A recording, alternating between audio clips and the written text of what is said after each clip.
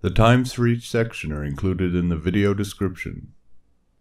Track Control Panel On the right of the audio, we have the track control panel. Our first option at the bottom is to minimize the track. Above this is the pan slider, which gives us the option to move audio to the left or right speaker. This is useful if you are creating a stereo track or moving audio to create an effect. We will cover how to create a stereo track from a mono track later in this tutorial. Above this, we have the gain slider, which allows you to adjust the track's level of volume through its decibel level. Lowering or heightening the volume in correspondence with other tracks can help you to level audio or to create effects. Above this, we have the option to mute the track you have selected, or to mark the track as solo, which will make this the only track to play back to you. Above these two options, we are given track information. This tells you whether the track is stereo or mono, the sample rate in Hertz, and the sample format. In the top left corner, we are given the option to delete the track, and beside this, we have a drop down menu with a variety of audio track options. Audio Track Options The first option available is to name the track. Naming the track will only change the name within Audacity. The track's original file name will remain unchanged. The next options allow you to adjust the positions of tracks as they appear in Audacity. You may move tracks up, down, to the top of the project window, or to the bottom of the project window. The next options refer to the way in which you view your audio in Audacity. Waveform shows your audio as a frequency, allowing you to see the chirps of your audio as they appear. The plus one on the vertical scale is the highest your audio can peak without distorting. Waveform gives a good overview of your audio's frequency. The next option is Waveform dB, which shows the amplitude of your audio following decibels on the vertical scale. Your audio will appear showing where it is highest and lowest. This option gives you a good idea of where your audio's levels are. The next option is spectrogram.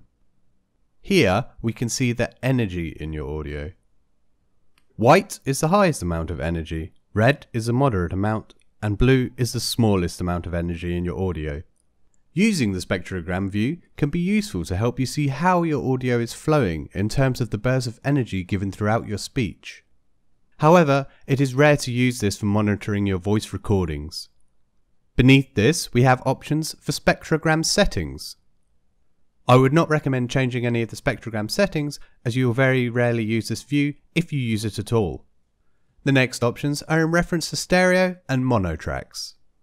Here, I will show you how to split a stereo track into a mono track and then I will teach you how to create a stereo track from a mono track.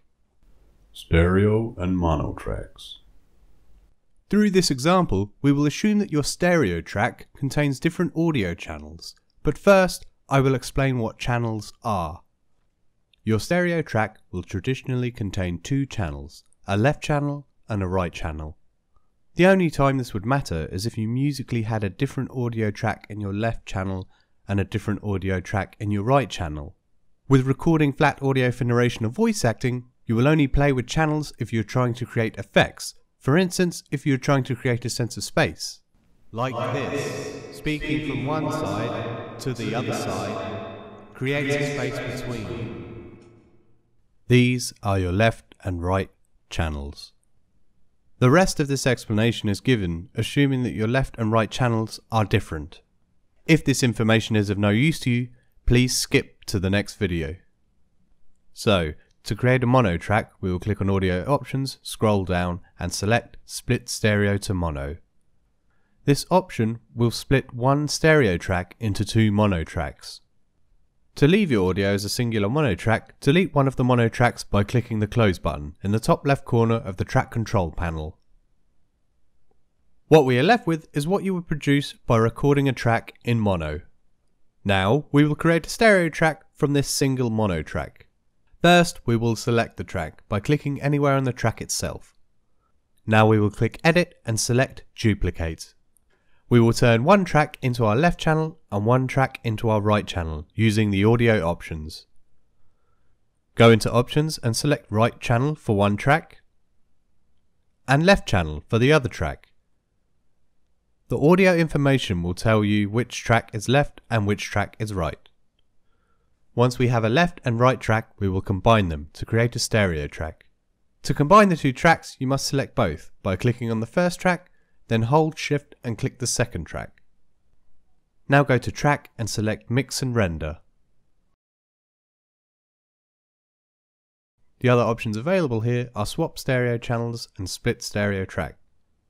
Swap stereo channels will swap the left and right channels, while the option to split stereo track will split the left and right channels without creating mono tracks.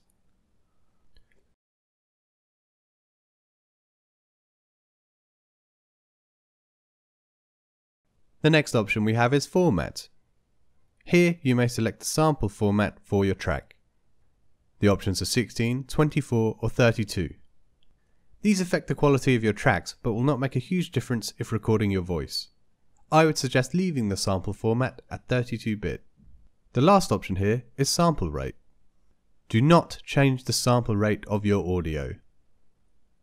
For an explanation as to why, please watch the tutorial for Audacity The Basics. Please leave suggestions for future videos in the comments. Check out the Audacity playlist for more tutorials.